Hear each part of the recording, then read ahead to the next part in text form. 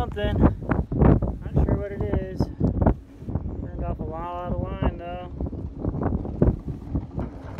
Hopefully it's not a shark. If it were a shark, that would be bad. And then probably break the end of the line off.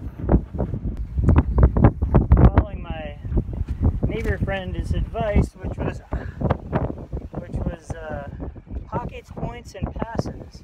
I'm fishing a low tide, so I don't